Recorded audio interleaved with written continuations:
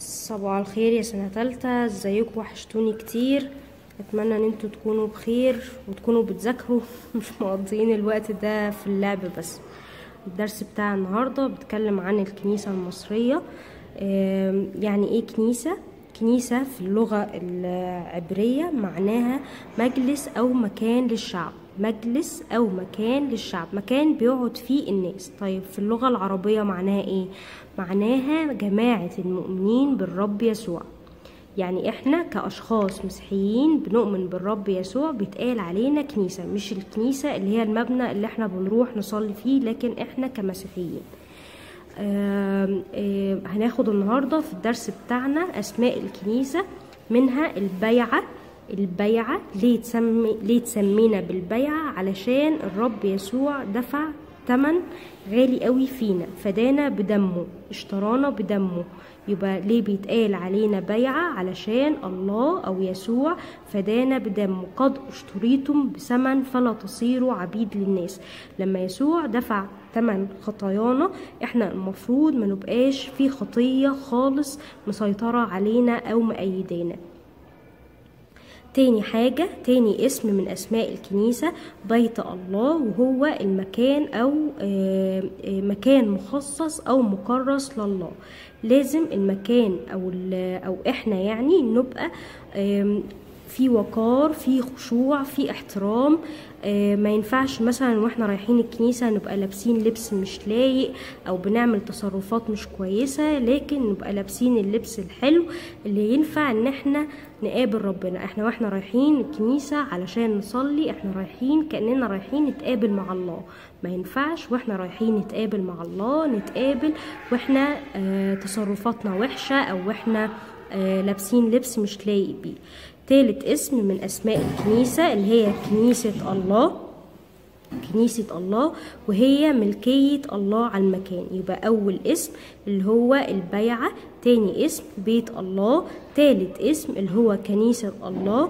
آه، كنيسة الله يعني ملكية الله على على المكان. إحنا نعتبر ملك ربنا إحنا كأشخاص بعد إيماننا بالرب يسوع إحنا نعتبر ملك ربنا رابع اسم رعية الله وهو المكان اللي بيضم كل الشعب المسيحي. رعية الله يبقى أسماء الكنيسة البيعة بيت الله كنيسة الله رعية الله. رعية الله يعني الكنيسة اللي بتضم كل الشعب المسيحي. لما بنبقى مشتركين في خدمة زي مثلا صوتنا حلو مشتركين في في الكورال بتاع الكنيسة إحنا مش بنبقى باصين إن إحنا هنستفيد إيه من الخدمة اللي إحنا بنخ- بنخدمها دي.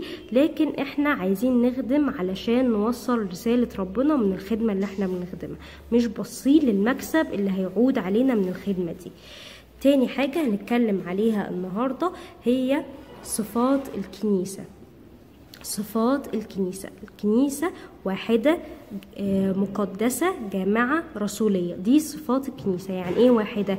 إحنا كلنا كأشخاص مسيحيين مؤمنين بالرب يسوع نعتبر جسد واحد. يعني إيه جسد واحد؟ إحنا كلنا أساس إيماننا الرب يسوع. يبقى إحنا جسد, جسد واحد وأساس إيماننا اللي هو الرب يسوع. طيب يعني إيه مقدسة؟ الرب يسوع بيطهرنا من كل خطية إحنا بنعملها. يبقى واحدة يعني إحنا كلنا جسد واحد مقدسة يعني الله بيطهرنا من كل خطية. جامعة يعني الكنيسة بتضم كل الأجناس وكل الجنسيات. جنسيات يعني مثلا مصري آه، آه، آه، إنجليزي دي الجنسيات. وبتضم كل الأعمار الصغيرين اللي قدكم كده حد أكبر زي ماما وبابا. يبقى الجماعة يعني بتضم كل الجنسيات وبتضم كل الأعمار. طيب يبقى الصفات واحدة. اللي هو جسد إحنا كلنا جسد واحد آه، مقدسة الله بيطهرنا من كل خطية جامعة يعني بتضم كل الأجناس والجنسيات والأعمار.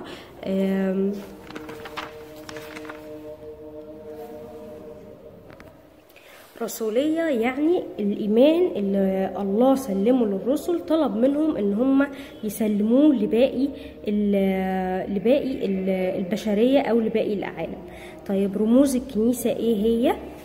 رموز الكنيسة إيه هي؟ آه، أول حاجة أول رمز اللي هو سفينة نوح ليه إيه، اترمز للكنيسة أو رمز الكنيسة سفينة نوح؟ لأنه رمز للنجاة من الهلاك. لما ربنا طلب من نوح إن هو يبني الفلك علشان هيحصل طوفان جامد جدا اللي اتنقذ من الطوفان ده هو نوح وكل العيلة بتاعته علشان سمع كلام ربنا. يبقى أول رمز من رموز الكنيسة اللي هو سفينة نوح لأنه يعتبر نجاة من الهلاك. تاني رمز اللي هي المدينة المقدسة. 嗯、اللي هي الله بيسكن في وسطها. يبقى أول رمز اللي هو سفينة نوح تاني رمز اللي هي المدينة المقدسة تالت رمز الجنة المغلقة. يعني إيه جنة مغلقة؟ إحنا وإحنا موجودين في الكنيسة بنتقابل مع ربنا. إحنا المفروض بنبقى مفصولين عن العالم الخارجي عن الخطايا وعن الشر اللي بيحصل بره بنبقى مركزين بس مع ربنا. يبقى أول رمز سفينة نوح تاني رمز المدينة المقدسة تالت رمز الجنة المغلقة ورابع رمز أورشليم. يبقى خدنا في الدرس بتاعنا أسماء الكنيسة. أول حاجة البيعة بيت الله كنيسة الله رعية الله.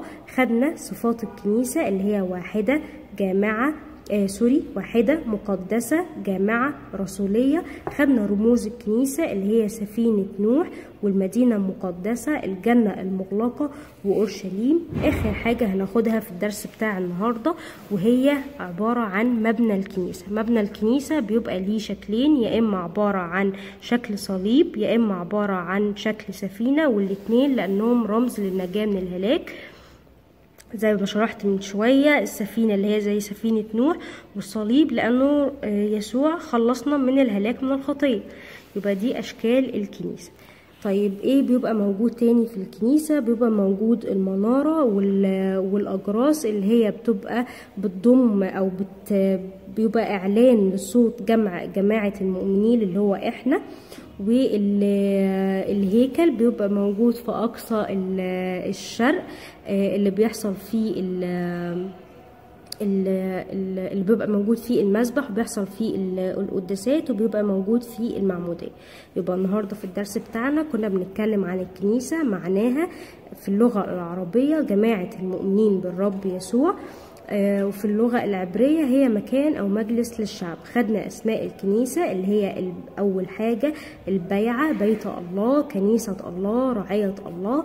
خدنا رموز الكنيسة اللي هي سفينة نوح المدينة المقدسة الجنة المغلقة أورشليم. خدنا صفات الكنيسة اللي هي واحدة مقدسة جامعة رسولية. وخدنا أشكال الكنيسة اللي هي الصليب أو السفينة. ده الدرس بتاع النهاردة. الآية بتقول آية الدرس اللي هي الآية الذهبية بتقول فرحت بالقائلين لي إلى بيت الرب. نذهب يعني لازم أبقى فرحان وأنا رايح الكنيسة لأن أنا وأنا رايح الكنيسة أنا رايح بتقابل مع ربنا. لازم أبقى رايح وأنا فرحان عشان أقدر أستمتع بكل الوقت اللي أنا موجود فيه. مبقاش رايح وأنا زعلان أو رايح وأنا مضطر لكن أنا رايح وأنا فرحان عشان هقابل ربنا. ده الدرس بتاع النهارده.